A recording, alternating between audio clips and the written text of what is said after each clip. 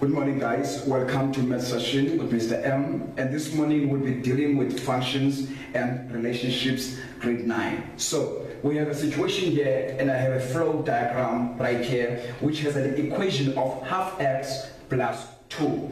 Now, in these relationships, we have a negative 2, 0 and b that is put into this equation, and a, 2 and 4, which is an outcome result of whatever is put in this equation. So whatever I put on this side, it must give you must give you this side here. So we have now the first question they ask us. We have two unknowns. In fact, we have the input of B and the output of A.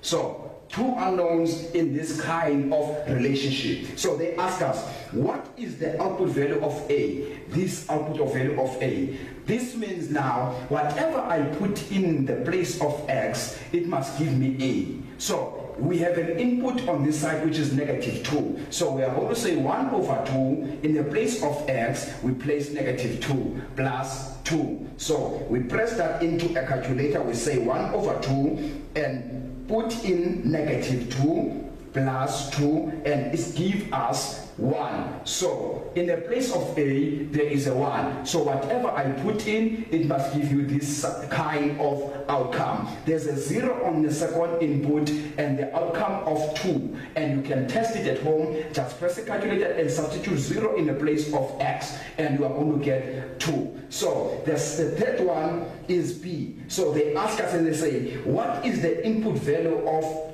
input value in B. This is our input which is B which is unknown. So our unknown has an outcome of 4. So it's 4 equals to 1 over 2. Our unknown is B in the place of X plus 2. That is our equation right there. So we have B. Then we take the 2 on the other side. It subtracts from the 4. And we have a 2 right there. And then it's 1 over 2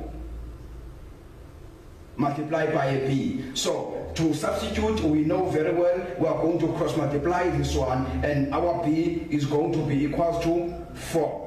There is our relationship according to this flow diagram. We have a 4 in the place of B. From me, Mr. M, that's all when it comes to functions and relationships, grade 9. Have a wonderful day and a great morning.